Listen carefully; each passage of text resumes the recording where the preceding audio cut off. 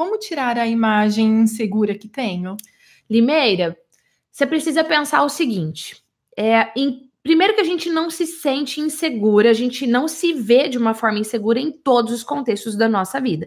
Você precisa identificar qual contexto eu me sinto insegura. Vamos supor que no seu contexto profissional você se sente insegura e que você não consegue expor suas ideias, que você não consegue se colocar, que você não consegue defender as suas ideias.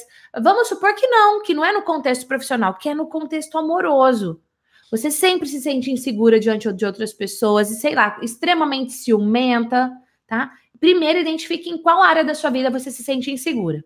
Segundo ponto que você vai fazer é identificar qual é o fator externo, como eu disse há pouco, ou qual é o fator interno que gera em você essa insegurança. Identificou? Você vai mudar. Gia, é um fator externo. Bom, eu preciso aprender a lidar com essa situação. Vamos supor que você se sente insegura no ambiente profissional quando alguém te critica.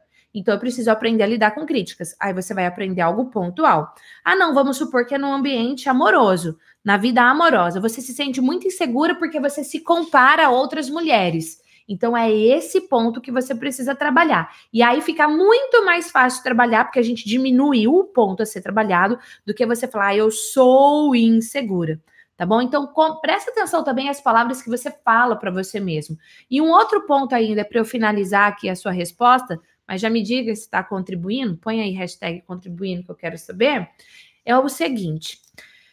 Quando a gente fala em insegurança, e eu falo assim para você, olha, ninguém é inseguro em todas as áreas da vida, de repente você está num momento muito nebuloso, muito dark, e você se sente inseguro em todas as áreas da sua vida. Aí eu vou te dizer, o buraco é mais embaixo, tá? Um, eu sugiro para você fazer o programa de desenvolvimento Minha Melhor Versão.